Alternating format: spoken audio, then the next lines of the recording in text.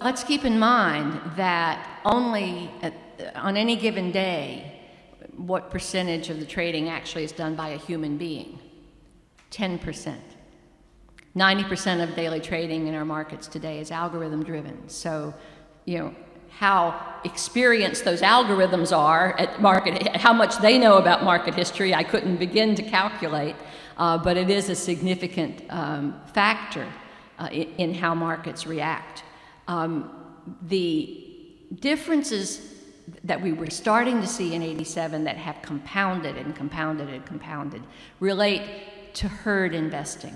And it is, it is a paradox. It is the paradox of the index fund.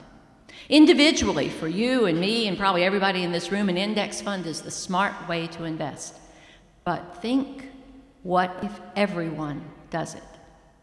What if all the investors in the stock market are giant index funds? What would that mean? It would mean they all own the same thing.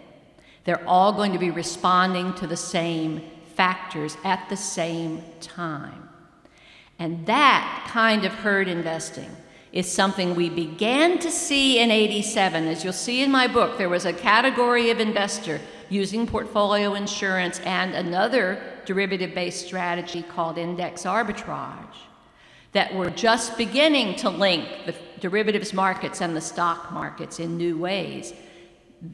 Put that on steroids and advance it to 2018. So, my feeling is that the scale of investors is one problem the homogeneity of investors is a much bigger problem. And I think it's one that we don't widely recognize and we have not begun to address.